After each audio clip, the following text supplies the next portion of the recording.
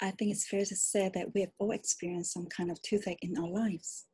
To me, it's so common to hear patients being kept awake for many sleepless nights from excruciating toothache. In fact, many women have told me that their toothache is worse than labor pain. We often think of toothache as something that occurs only in the mouth, but did you know that the pain from a toothache can also spread to the jaw joint, the ear, and even the eye socket? Did you know that severe toothache can sometimes cause throbbing, intense migraine like headaches? On the other hand, did you know that toothache may not be caused by a tooth? It can be a sign of heart attack, sinus infection, a disorder with the jaw joint and its surrounding muscles, a manifestation of trigeminal neuralgia, cluster headache, or even cancer. And did you know that even after a tooth has been removed, you may still feel pain in that phantom tooth? My name is Dr. Angeline Lee, and I'm a specialist in endodontics, also known as a root canal specialist. As a root canal specialist, my job is to treat root canal diseases that are usually caused by inflammation and infection in and around the tooth root. I would like to take you all with me as we look into the hidden world behind chronic pain from a dentist perspective. Toothache is often caused by inflammation and infection in the root canal or structures around the root, causing damage and overstimulation of the tooth nerves or nerves around the tooth root.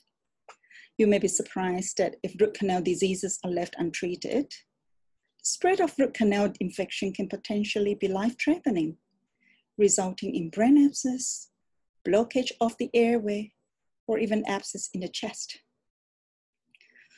Now let's look at the pain pathway so we gain a better understanding about toothache.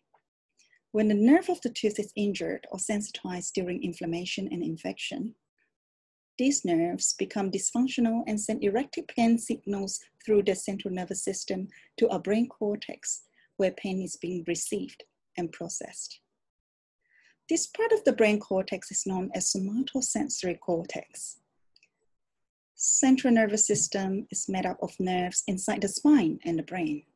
So basically, pain signals from the tooth nerve goes into the spine and the spinal nerves then carry the pain signals from the tooth to the brain to tell something is wrong with the tooth. No matter how great a dentist is, studies have shown us that around three to four patients out of about 100 that have been treated return to their dentist, saying that the root canal treatment performed on their teeth did not work. Though to us, the treatment seems absolutely perfect. The patient still complains about the pain. I had a patient in her 60s who was referred to me for second opinion. The story started with her suffering from a severe dull ache in one of her lower molars. The pain even spread to the back of her lower jaw. An endodontist colleague treated the painful tooth with root canal treatment. With perfectly treated root canals, the patient went home happily, but only to return a few days later with even more pain in the tooth and the jaw. Her endodontist puzzled, but retreated the same tooth with another round of root canal treatments in case the first one wasn't performed well enough. The patient then went home, and guess what? The pain just would not go away. She returned again, still pointing at the same tooth. Oh well, my colleague said to her, I'm sorry, this tooth cannot be saved. We'll have to take the tooth out. So the tooth was taken out. Three months later, the patient was referred to me for a consultation. I'm sure most of you by now would have guessed what happened. So we took x-rays and 3D scans to ensure that we had not missed anything. Physically, there was nothing wrong at all. The tooth had been entirely removed and with it the assumed source of the pain. Even the wound from the tooth extraction had completely healed. Nevertheless, the patient continued to insist that the toothache came from the same site where the painful tooth was. Some of you may have heard about a phenomenon called phantom limb pain. In the 16th century, a French surgeon who operated on wounded soldiers first reported this strange phenomenon.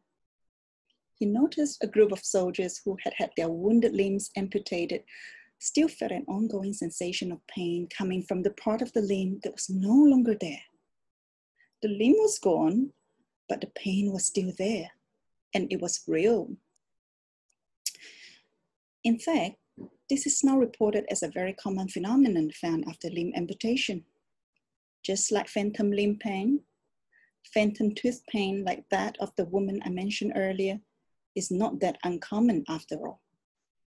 With no apparent source, how can this pain be explained? Perhaps the key to this mystery is in one interesting thing phantom limb and phantom tooth pain have in common.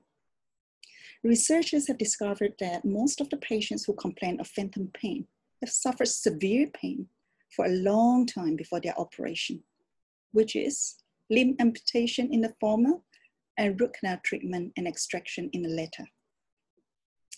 Over the years, we have had many great pain researchers around the world discovering enlightening information about the mechanisms involved in this phenomenon.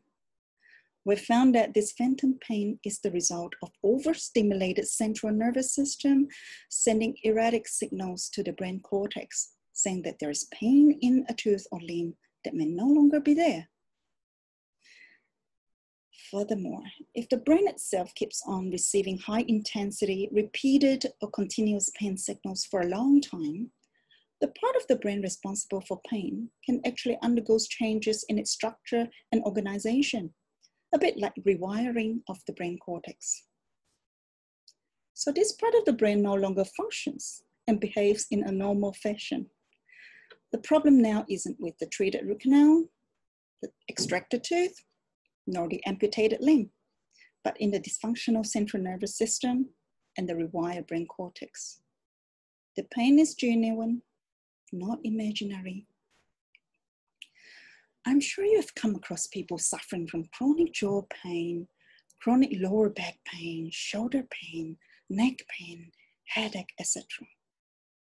Oftentimes, these people have already made numerous visits to their doctors have already been referred to and seen by many different specialists and have had lots of diagnostic investigations performed on them, such as blood tests, x rays, CT scans, MRI, ultrasounds, you name it. But nothing wrong can be found with them. These people often feel extremely frustrated, angry, helpless, and hopeless. Many also end up suffering with depression and anxiety. Perhaps worst of all, they get stigmatized as being lazy or even hypocrites by society because on the outside, they look perfectly healthy and normal. Taking all this into account, the treatment of chronic pain has to involve an interdisciplinary approach.